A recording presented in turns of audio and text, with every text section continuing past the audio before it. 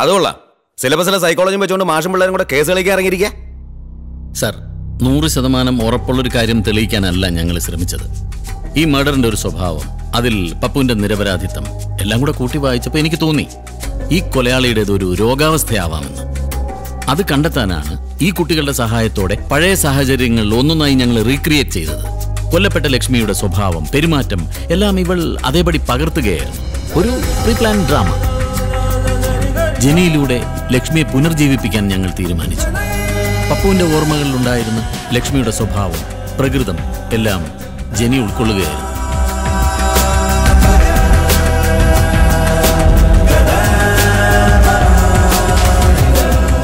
ലക്ഷ്മി മരിക്കുന്നതിന് തൊട്ടു മുമ്പ് നടന്ന ബർത്ത്ഡേ ആഘോഷം ഞങ്ങൾ മനഃപൂർവം റീക്രിയേറ്റ് ചെയ്തു. കൊലയാളിയെ പ്രൊവോക്ക് ചെയ്യാൻ അർജുനും ജനിയും പലതവണ പരിശ്രമിച്ചു.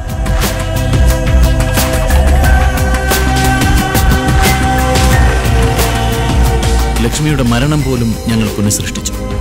വളരെ കരുതലോടെ നടത്തിയ ഒരു നാടകം. കൊലയാളിയുടെ മനസ്സിൽ പഴയ കാലഘട്ടം ഓർമ്മപ്പെടുത്താനുള്ള ഒരു ശ്രമമായിരുന്നു അത്.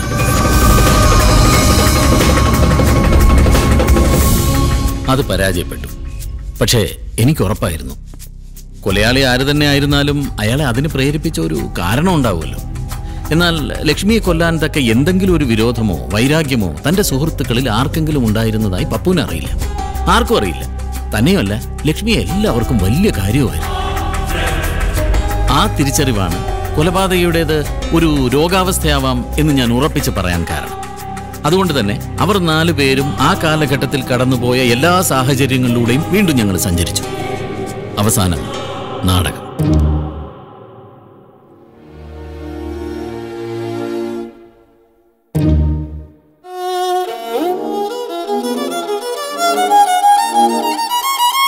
ഒന്നുറപ്പാണ്. ആ മ്യൂസിക് അതാണ് അയാളിൽ ഡിസ്റ്റർബൻസ് ഉണ്ടാക്കുന്നത്. ഇന്നലെ റിഹേഴ്സൽ സമയത്ത് അതേ മ്യൂസിക് പ്ലേ ചെയ്തപ്പോഴാണ് ഇവൾക്ക് നേരെ അറ്റാക്ക് ഉണ്ടായത്. കൊലയാളി പപ്പുവിന്റെ മൂന്ന് സുഹൃത്തുക്കളിൽ ഒരാളാണ്. ഇപ്പോ അയാൾ അപകടകാരിയുമാണ്. സർ അങ്ങനെയാണെങ്കിൽ നമ്മൾ അറിഞ്ഞുകൊണ്ട് അപകടം വിളിച്ചു വരുത്തല്ലേ? ഡെഫിനറ്റ്ലി നിങ്ങൾ കാര്യങ്ങൾ വളരെ ഈസി ആയിട്ട് എടുക്കരുത്. ഇത് തീക്കളിയാ.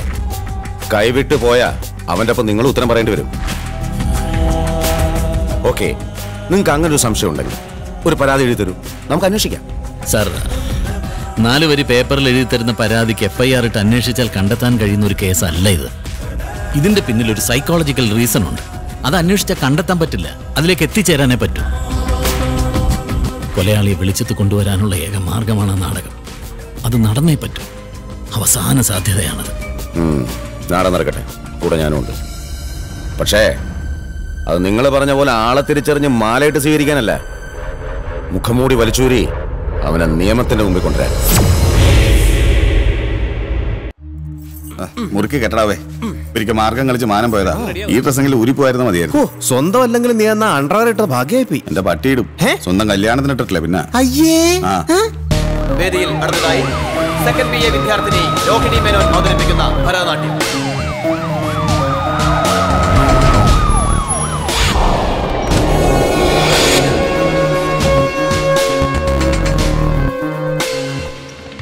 കയ്യിറ പോത്തെ.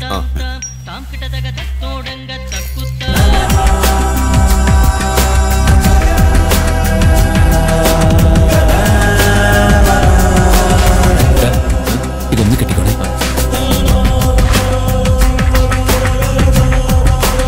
നിങ്ങൾ ഓഡിറ്റോറിയത്തിന്റെ പുറകുവശം വഴി പോയാൽ മതി. അർജുൻ കാര്യം എന്താന്ന് വെച്ച് പറയും. അത് പിന്നെ പറയാം. ഇപ്പൊ പറയുന്ന ചെയ്യും. വീണ.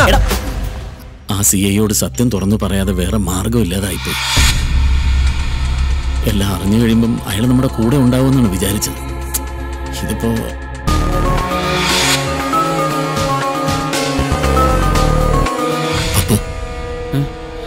നമ്മുടെ അറ്റംപ്റ്റ് ഒരുപക്ഷെ വിജയിച്ചേക്കാം. അങ്ങനെ വിജയിച്ചാലും നീ തന്നെ തോക്കും. കൊലയാളി നിന്റെ സുഹൃത്തുക്കളിൽ ആരായിരുന്നാലും പോലീസ് അയാളെ അറസ്റ്റ് ചെയ്യും. ഒഴിച്ചു മൂടിയതെല്ലാം വീണ്ടും കുത്തിപ്പോക്കും. അറിഞ്ഞുകൊണ്ട് ഇനി ഒരുത്തന്റെ ജീവിതം കൂടി ഈ കളി ഇവിടെ അവസാനിപ്പിക്കുന്നതല്ലേ നല്ലത്?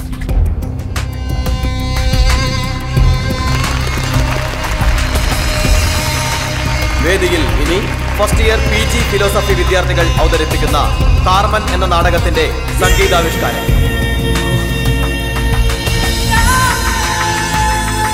അതുകൊണ്ട് നമുക്ക് നീ എന്നെ കോപ്പട്ടാക്കി അവിടെ ഐറ്റം അനൗൺസ് ചെയ്തു. വാ വാടാ.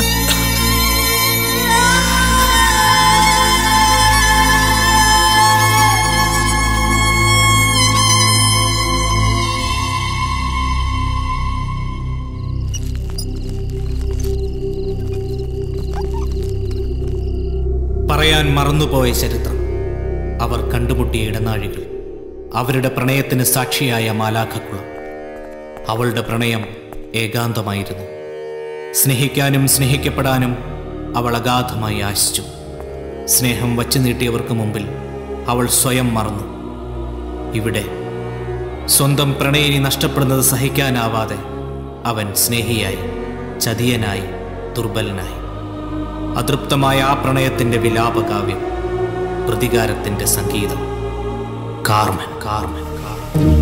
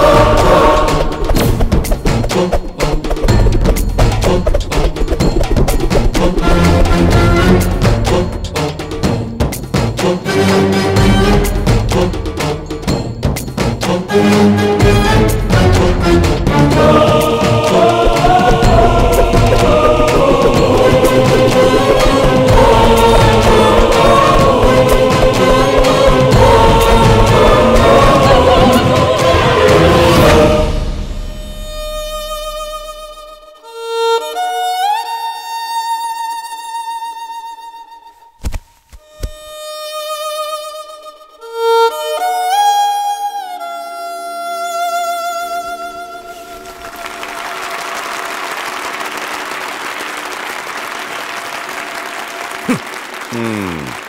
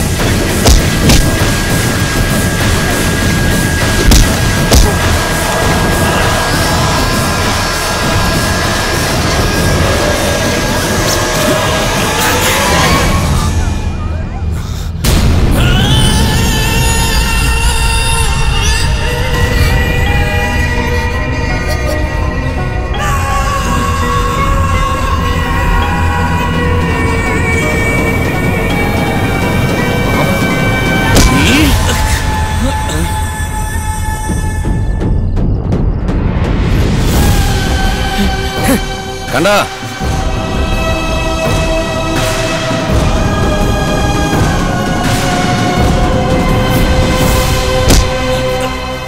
ഇപ്പൊ മനസ്സിലായില്ലേ സാറേ? കഥാനായകൻ മാത്രമല്ല ഇവൻ വില്ലനും കൂടിയാണെന്ന്. പക്ഷേ യവനെ പോലുള്ള ഞരമ്പരോഗങ്ങളെ പൊക്കാൻ പരാതി എഫ്ഐആർ ഒന്നും വേണ്ട പൂത്തിയുള്ള പോലീസുകാരന്. സാർ പറഞ്ഞ ശരി തന്നെയാ. യവന് ചികിത്സ തന്നെയാ വേണ്ടത്. അത് പക്ഷേ ഞാൻ ചികിത്സ മാറാവുന്നേ ഉള്ളൂ. എടുത്തിടോ വണ്ടിയിലേക്ക്.